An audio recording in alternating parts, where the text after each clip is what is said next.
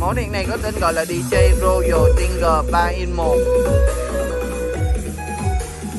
Đèn được kết hợp với hiệu ứng laser, đèn led quét tia và đèn led chiếu vô vô